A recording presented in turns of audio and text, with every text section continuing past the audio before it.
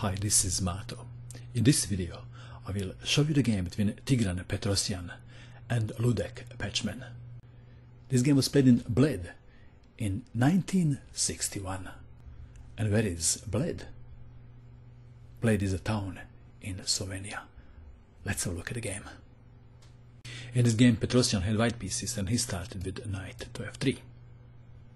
Pachman played c5, inviting Sicilian defense.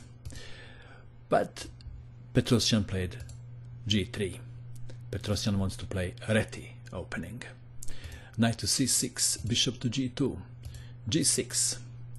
Petrosian castle kingside, bishop to g7, d3, e6, preparing d5, e4, knight from g to e7, rook to e1, placing the rook on the file which will open soon. Black castle at kingside, e5, d6, pawn takes pawn, queen takes on d6, knight from b to d2, queen to c7, knight to b3, knight to d4, bishop to f4, developing bishop with a tempo, attacking the queen, queen to b6, knight to e5, knight takes knight. How would you continue now? Petrosian played knight to c4, attacking the queen. If pawn takes knight, then possible black would capture the knight on a5. Knight to c4, attacking the queen. Queen to b5, and now Petrosian captured the knight. a5, bishop to d6, attacking the knight. Knight is pinned. It is black to move. Perhaps the best move is just simple, rook to e8.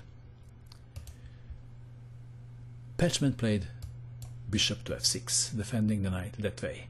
Perhaps he was planning rook to d8. Queen to f3, attacking the bishop on f6. King to g7. Rook to e8. Very deep move. Petrosian is preparing very nice finish. Rook to d8 as planned. It is white move. We have reached the most critical position of the game. What would you do in this position if you had white pieces? Please pause the video and try to find the best move for white. What did you find? In the game, Petrosian sacrificed the queen. This is check. King takes queen. Bishop to e5 check. King can't go back to g7. King to g5. White play the move and black resigned. What is the move? What would you do? Bishop to g7. Black resigned. One possible continuation is knight to f5. Then check. Knight takes pawn. Pawn takes knight, check. King to h5, and there is checkmate in one. Can you see it? Bishop to f3. Check. Very nicely played by Petrosian, isn't it? And that is all. I hope that you enjoyed watching this video. I wish you good luck with your chess and bye for now.